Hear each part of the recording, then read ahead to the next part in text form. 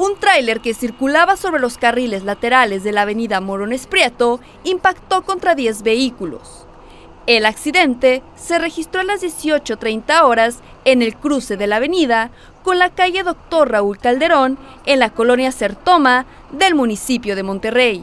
Presuntamente, el conductor de la pesada unidad se quedó dormido y perdió el control. Pues es que no creo que se haya quedado sin freno, simplemente el conductor se, se durmió, se distrajo y se alcanzó a amarrarse. Cuando yo escuché el, el se amarra, pues ya yo estaba golpeado de atrás del, del, vehículo, pero pues no me pasó nada. A los que le pasaron más feo fueron, fueron a los carros de atrás, por ejemplo ese azul, el gris y otros más. Como resultado del accidente, se vieron involucrados 10 vehículos y 7 personas lesionadas, ninguna de gravedad.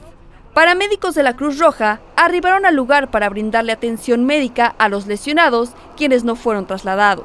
Elementos de protección civil, estatal y municipal se coordinaron para liberar la circulación de la avenida. Susana Paredes, Fuerza Informativa Azteca.